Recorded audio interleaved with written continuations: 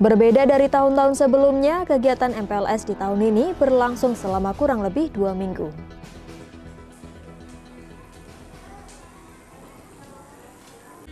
Kegiatan masa pengenalan lingkungan sekolah atau yang dikenal dengan MPLS sudah dimulai.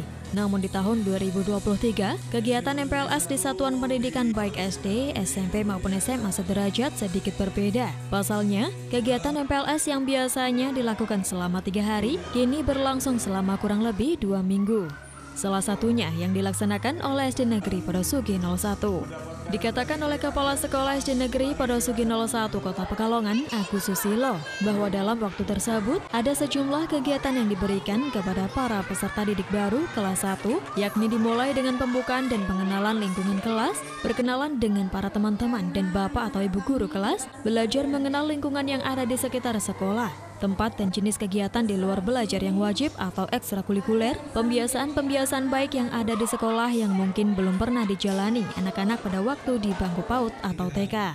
Pihaknya berharap dengan adanya kegiatan MPLS ini bisa memunculkan proses belajar yang nyaman untuk anak-anak peserta didik baru, di mana anak-anak biasanya belajar bergembira di PAUD atau TK, kini harus menghadapi situasi belajar yang sedikit berbeda di jenjang SD ini adalah hari pertama anak-anak kita kelas 1 memulai kegiatan di SD Negeri Bogor 1. Ini adalah hari pertama masa pengenalan lingkungan sekolah yang akan berlangsung selama dua minggu ke depan.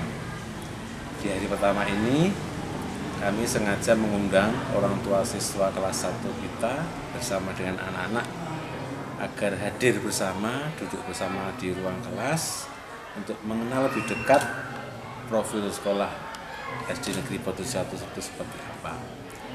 Kami berharap bahwa ada satu motivasi tersendiri dari anak-anak dengan kehadiran ayah dan bundanya bersamanya. Dan kami berharap ini menjadi satu momen yang baik untuk membangun kesadaran bersama bahwa pembelajaran atau proses belajar anak itu menjadi tanggung jawab kita bersama. Tidak hanya sekolah saja, tidak hanya bapak ibu saja, tapi juga orang tua siswa kita.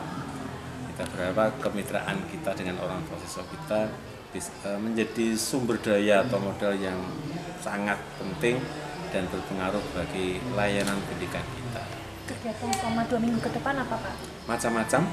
Hari ini baru penyambutan serah terima besok akan dilakukan dengan pengenalan lingkungan kelasnya uh, oleh ibu guru kelas 1 hari berikutnya adalah pengenalan lingkungan sekolah secara keseluruhan mengenal ruang-ruang yang ada di sekolah SD kita mengenal tempat-tempat yang digunakan untuk kegiatan selama di SD itu apa saja gitu kan. Termasuk mengenal kegiatan yang ada sekolah kita ke depan semakin belajar lagi anak-anak akan kita mulai kenalkan dengan bermacam-macam kegiatan di luar kegiatan uh, belajar yang wajib yang sifatnya ekstrakurikuler kita kenalkan juga dengan kebiasaan-kebiasaan atau pembiasaan baik yang ada di sekolah kita yang mungkin belum pernah dijalani atau dialami di masa pendidikan di PAUD sebelumnya. Rafid Fajri, Batik TV, melaporkan.